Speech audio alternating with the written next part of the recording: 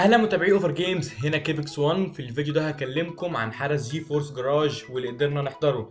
ناس كتير جدا قدمت فيه بس ما قدروش يحضروا نظرا لأن العدد كان محدود جدا. الحدث من تنظيم Nvidia في إحدى مقرات Arab Hardware بمصر الحدث ده يعتبر البداية اللي هتخلي الشركات الكبيرة تبص لمصر وللمستهلك المصري ولل gamer المصري عموما بطريقة مختلفة وجديدة وتديهم بعض الاهتمام. محمد أحمد ممثل Nvidia في مصر اللي قدامكم في الفيديو ده بدأ يتكلم مع ال gamers اللي حضروا وبدأ بعدد ال PC gamers على مستوى العالم واللي بيصل ل 300 مليون gamer ومنهم 200 مليون بيفضلوا Nvidia وبعدين اتكلم شوية عن اللعبه اللي هتصدر قريب زي The Witcher 3 Wild Hunt و Batman Arkham Knight وشفنا الجرافيك بتقنيات Nvidia الجديدة واللي كان مذهل جدا. وعرض لنا قدرة كروت شاشة Maxwell architecture وقدرتها الجباره في انظمة الشاشات المتعددة واتكلم برضه عن ShadowPlay اللي كتير منا جربه والخاص ببرنامج GeForce Experience واللي بيخليك تسجل فيديو في اللعبه أقل خسارة لل FPS ممكنة. ولو نسيت تسجل وكنت مشغل خاصية ShadowPlay هيجيب لك تسجيل لآخر 20 دقيقة أنت لعبتهم. وبرضه اتكلم عن خاصية ال DSR أو Dynamic Super Resolution واللي بتخليك تلعب على دقة 4K حتى لو شاشتك أقل من كده. وده خلى عدد كبير جدا من اللاعبين يجربوا يلعبوا على الدقة العالية دي.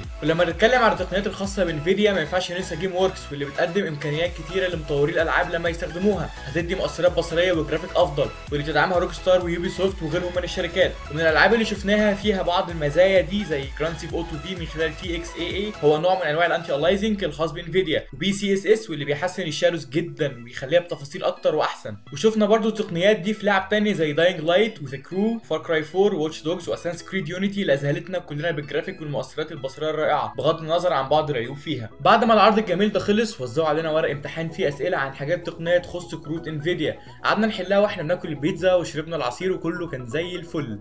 بعدين بقى بالورق ده Nvidia عملت سحب عشوائي على كارتين GTX 960 الكارت الواحد منهم ب 2200 جنيه.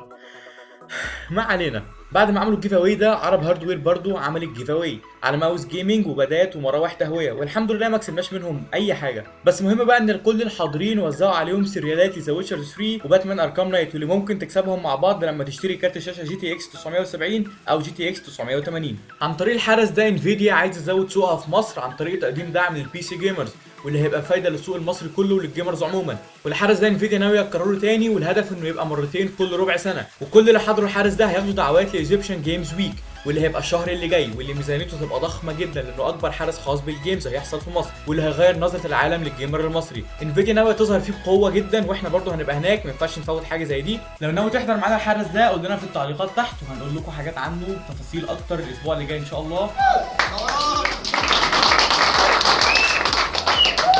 اشوفكم بقى الفيديو الجاي وبيس اوت